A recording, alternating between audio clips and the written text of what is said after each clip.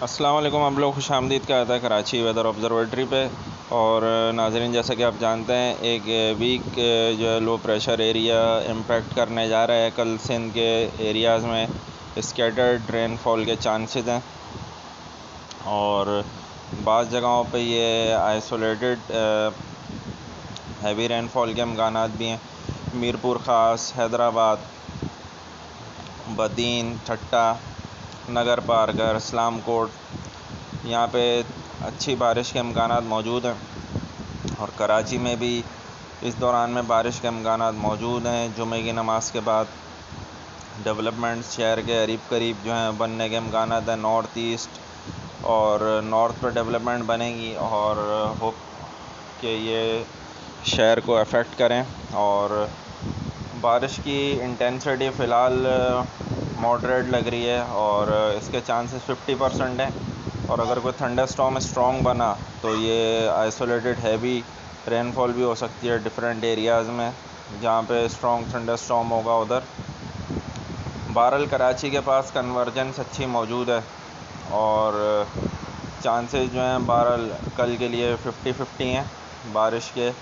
और दोपहर के बाद डेवलपमेंट का आगाज़ होने के अमकान हैं, ठट्टा और कराची के करीब, नूरियाबाद के करीब डेवलपमेंट बनने के अमकान होंगे थंडर स्टॉम पर नज़र रखेंगे इन और, इस टाइम पे आपको सैटेलाइट इमेज दिखाते हैं। और ये आप देख सकते हैं कि लोअर सिंध में जो है वो इस वक्त क्लाउड्स वीक क्लाउड्स मौजूद हैं।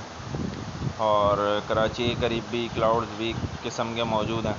कल डेवलपमेंट में खातर खा इजाफ़ा होने के अमकान हैं और मीरपुर ख़ास, हैदराबाद, उमरकोट, मिट्टी, पदीन, ठट्टा और अपर सिंध के भी कुछ एरियाज़ के अंदर जो हैं वो हेवी रेनफॉल के अमकान मौजूद हैं। कराची में भी मुख्तलिफ़ जगहों पे जो है वो दरमिया बारिश के अमकान मौजूद हैं, जैसा कि पहले मैंने बताया था। और तेज़ बारिश जो है वो थंडर स्टॉम की इंटेंसिटी पर डिपेंड करेगी। दोपहर के बाद इन डेवलपमेंट के अमकान दिख रहे हैं। ये न्यूज़ आप देख रहे हैं कराची वेदर ऑब्ज़र्वेटरी पे। यूट्यूब चैनल को हमारा सब्सक्राइब कर लीजिएगा नाजरीन और ये आपको रेन में हम दिखा देते हैं।